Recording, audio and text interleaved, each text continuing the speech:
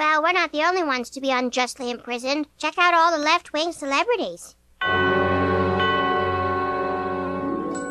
go to wrong fundraiser. Bill Clinton, what are you doing here? I call the Republican tax cuts unwise, and I stand by it. They're unwise. I want my Washington Post. Here's your Washington Post. You like that, Clinton? You traitors pipe down. You're all here because you hate freedom. I'm here because I said imported wines are better than Napa Valley. Yeah? Well, why don't you take a Napa? My only crime was driving a truck full of explosives in from Canada. I don't know why they put the real ones in with the joke ones.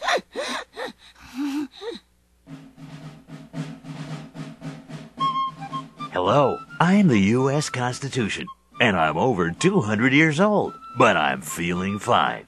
I wish I could say the same for my crazy cousin, Bill O'Reilly. What do I do? What do I do? Lisa, that's not funny. You believe in the Bill of Rights.